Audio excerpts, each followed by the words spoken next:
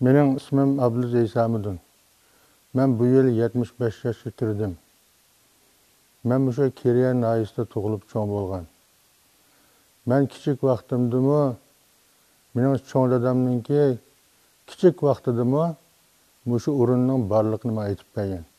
Bu qadimiy imoratni yaxshi saqlab qolish uchun davlat yani qo'g'iladigan madaniy yodgorlik qilib bekitdi Hukumat buyani qo'g'dash va bexatarlik uchun ko'p ahamiyat berdi. Hukumat buyani qo'g'dash uchun mablag' ajratib, buyani yaxshi qo'g'didi. Hozir yaxshi saqlanib kelyapti. 于天县爱卡清真寺被自治区人民政府公布为自治区级文物保护单位。二零一三年被国务委员公布为国家级文物保护单位。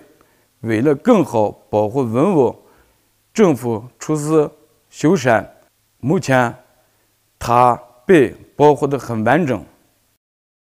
Mening ismim Abdukram Mahmud. Men shu Qog'liq noyi jami masjidniki xotibi. Jami masjid 1540 yili eng dastlabki qitim qurilgan. 1860 yili kengaytirib silingan. 1937 yili, 2014 yili, 2019 yili yili jami 3 qitim remont qilingan. Э, jami masjidimizniki umumiy ko'lami bo'lsa ikki ming yetti yuz sakson bir kvadrat metr э, qurilish ko'lami bo'lsa bir ming to'qqiz yuz oltmish sakkiz kvadrat metr keladi. Jami masjidniki yasalish tarixi bir qadar uzun bo'lishi sababli э, ikki ming o'n to'qqizinchi yili shu e'tiqodchi ommaga tiximi bexatar a'lo mulozimat qilish yuzasidan qurilish mustahkamlash ilib berildi bu jarayonda buzg'unchilik qilish yoki chiqib o'tish ahvollari mavjud emas. Man shu saksoninchi yillardan tortib man namoz o'qib shu masjidga kelyapman.